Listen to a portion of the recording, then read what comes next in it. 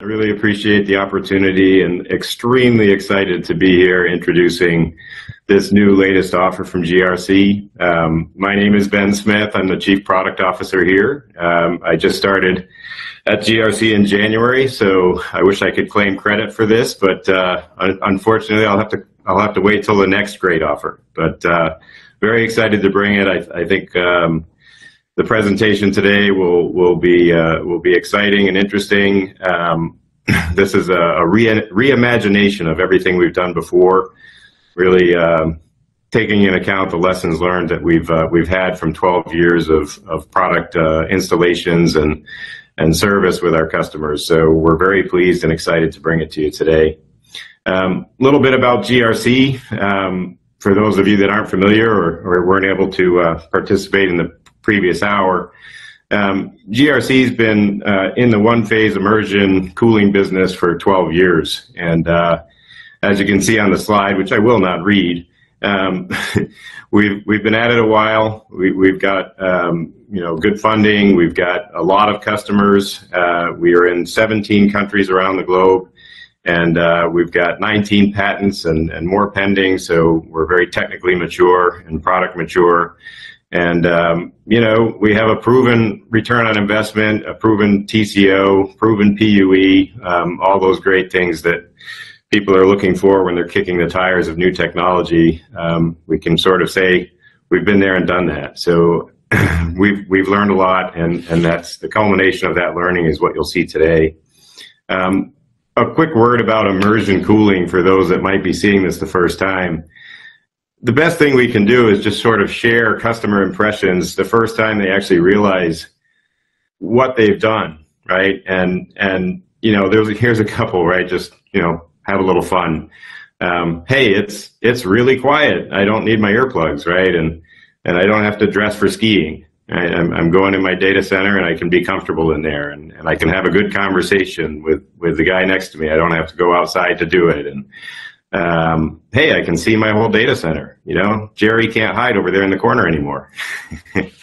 so, uh, so those are first impressions. But, um, you know, what is what is single phase immersion cooling? Um, basically, it's it's cooling your IT equipment by um, immersing it in a fluid, right? And and we use coolants here.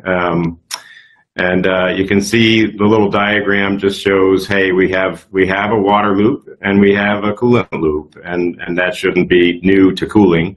Um, the coolant loop, the type of coolant is is a very benign, um, you know, non-conductive uh, fluid that's very safe and, and wonderful for the environment.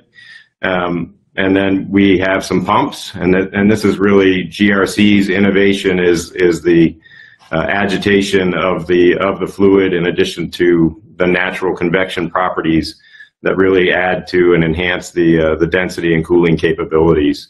And uh, and and the one of the great things about immersion cooling is that depending on your densities, of course, a lot of what we do is warm water. And and because of that, and because of the heat temperatures of the racks, it opens up many opportunities for customers to have huge savings and, and much, you know, really terrific sustainability um, impacts, you know, environmental impacts. A lot of pressure these days on data centers to reduce their their carbon footprint, whether it be their energy or water utilization, right? And um, and so uh, single phase immersion can help a lot with that and just to round this out, you know, what does it solve? And and there's a lot of focus and attention on um, liquid cooling in general, uh, single phase immersion included, on you know high power compute and and high density racks, and and that's not unappropriate, but it sort of um, blinds us from looking at the rest of the story, right? And and so you see on here, there's many reasons why um, customers move to immersion, and and really sort of a side benefit is the fact you can you can have more density, but there's great cost benefits, you know, capex and opex. There's terrific sustainability benefits. There's reclaiming your data center space when you're out of power or out of space, and and this enables you to instead of build a whole new data center or move your your business, you can actually just reclaim and, and start again. So great, great ways that we can help our customers using immersion cooling beyond just high power compute.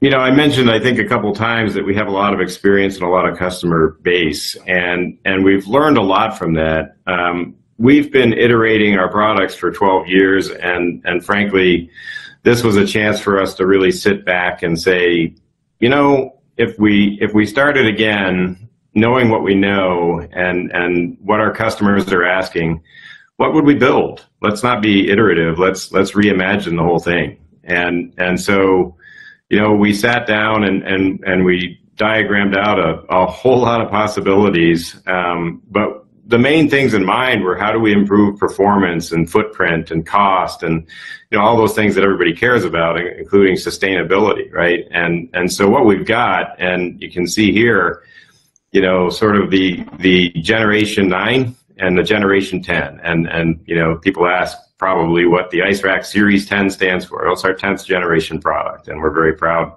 of that history.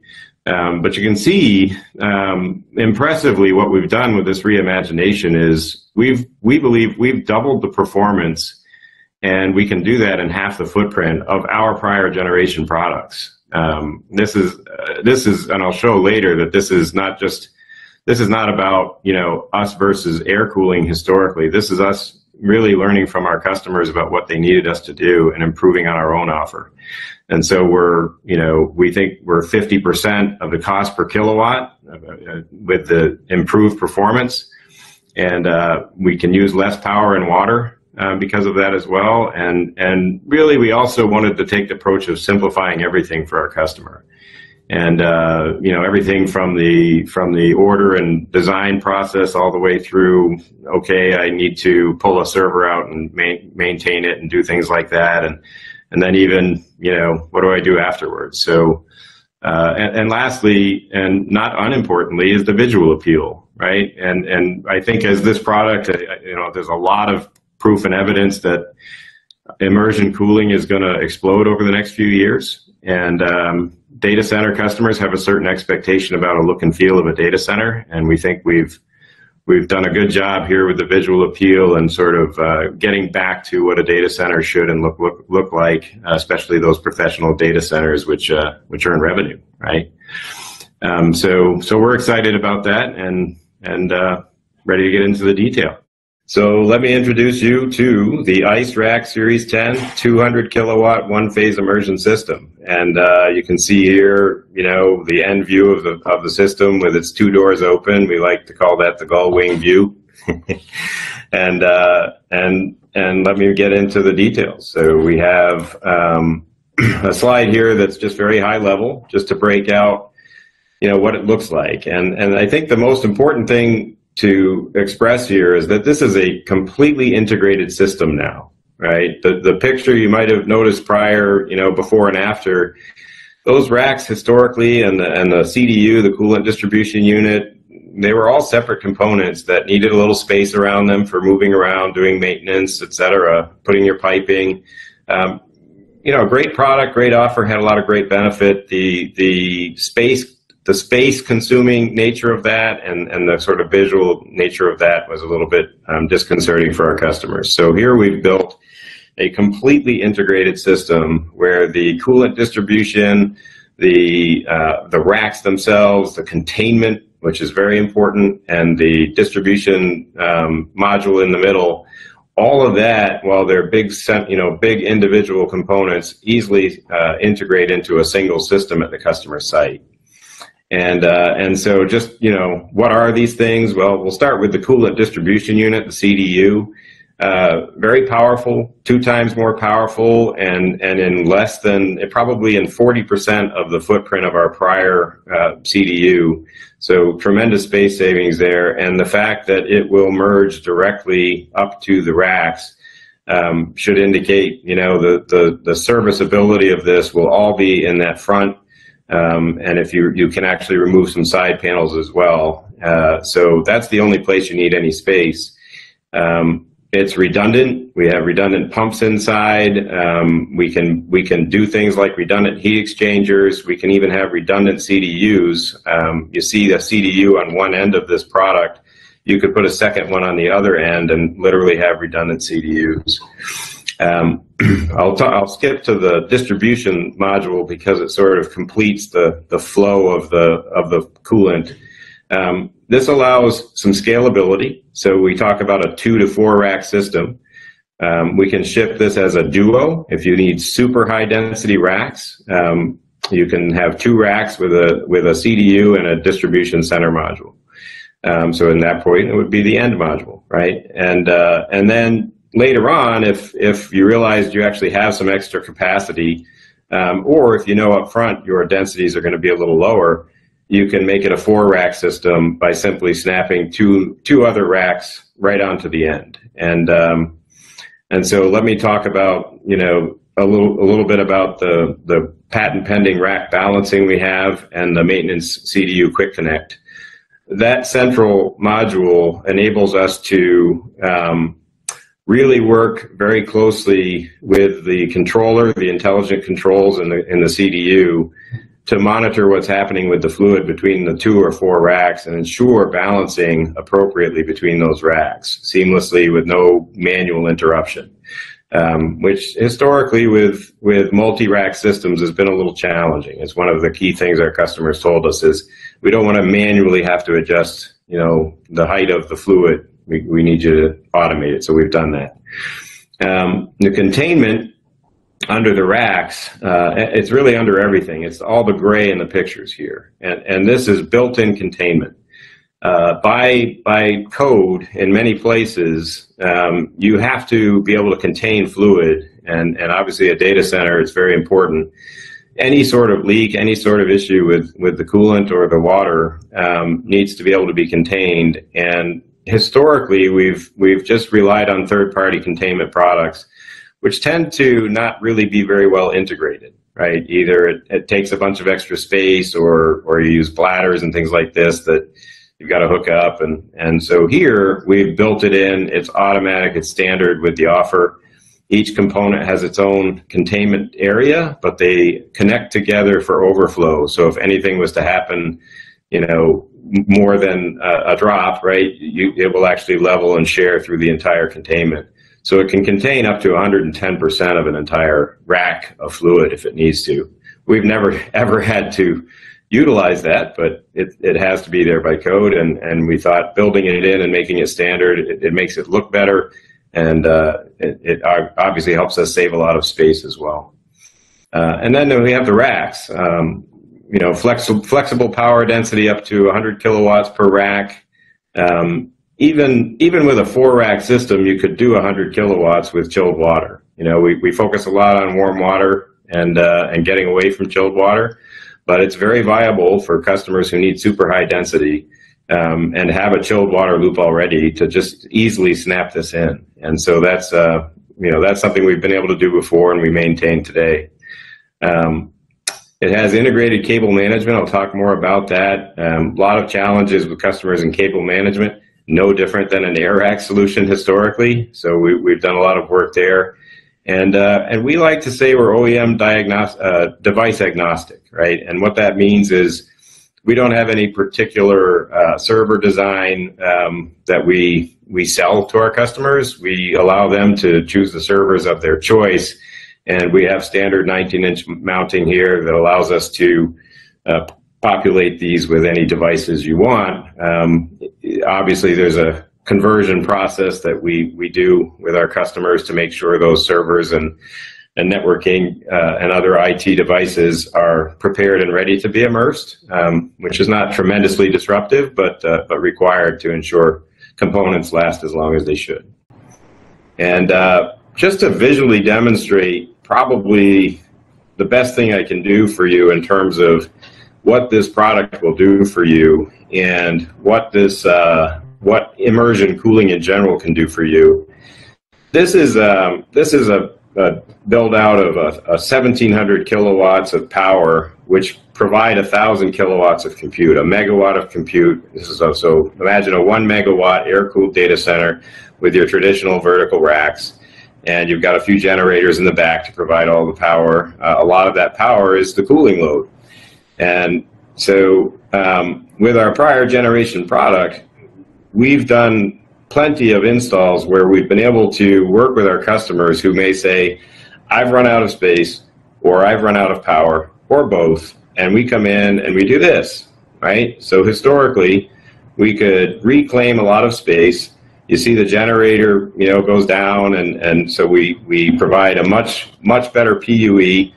And basically what you see here is we're, we're going to reduce that 1700 kilowatts of power for the whole data center down to 1030 for the cooling uh, to get that 1000 kilowatts of compute. So we have a proven 1.03-ish PPUE. Um, and that's what enables this, right? Now, this is what our new product will do. It's sort of eye-opening, isn't it? so it's uh, we're very excited about the potential for this and and where we can help our customers even more. So um, here here at GRC, we are uh, we are very into sustainability, right? We are very sustainability minded. We're very green you know, our people come into the office, we don't have plastic bottles, blah, blah, blah. We do all the, the nice, nice stuff there. But what we're, we're most excited about the fact that we can really help the change, right? That's, that's emerging in the world for the need for every industry to look at their, their sustainability and data centers aren't excluded, right? Um, there's been a lot of focus that I've seen over the last couple of years more and more on the water utilization of data centers, the power utilization of data centers. It's, obviously, it's going to increase the, the, the, need for data centers. I don't think any, anybody would say that that's not going to happen. Um, so more and more, you know, it was it was OPEX help us with our efficiencies and OPEX, and then it became a CAPEX challenge. Help us, you know, thanks for that, but now help us with our CAPEX issues. How can you help us build a data center cheaper, right? And now it's opex, capex, and sustainability. And uh, and and we're we're very pleased with that, obviously for many reasons, but um, it really allows us to show what we've been able to do in the last 12 years. And and here you can see um, we've we've been helping customers for a long time, and these are real numbers from various customer installs that that we've been able to do. We've actually accomplished these things, right? We've been able to lower your infrastructure energy for cooling um, by 95%. Right? And I think the prior example that I showed is, is, is really that. Um, but we also help with OPEX in many ways. And, and you can see tremendous savings on OPEX, um, whether it be just the electrical savings of you know the cooling equipment itself, but also imagine you're not going to put fans in your servers anymore. And, and that's a pretty substantial use of electricity in servers. So again, it just goes right down to your electric bill and, and, and carbon footprint. Um, we do reduce or eliminate water usage depending on how warm a water loop you can use. Um, you know, obviously we talked about you can snap into chillers, but this gives you an opportunity to do a lot more, right, from a sustainability perspective. Uh, we use a lot less floor space. Um, you know, there is an opportunity to build smaller data centers for the need, which obviously would be huge. Uh, you know, your capex um, could be tremendously influenced by that, and uh, and the fact that if you do use warm water and you and you get all these power benefits, you're gonna you're gonna be able to reduce the amount of power needed, the size of your size and number of generators, UPSs, et cetera. Right. So so lots of benefit there. If you're building something from the ground up, you know, it's a very different discussion. And uh, and we we see carbon emissions overall being able to cut up to 20%. So I think we have a, a terrific sustainability story. I think liquid cooling and immersion cooling in particular has a very good sustainability story. Um, it's not the only story. CapEx, OpEx, enabling all that through the adoption of high density, which we which we allow, right? And uh, and so, yeah, this this product's no exception. It actually helps us improve our results um, in the market, and uh, and so you know we we continue to be excited to bring highly sustainable solutions to our customers. And then just to just to let everybody know, this is this is not prototype. This is real. We're ready for orders.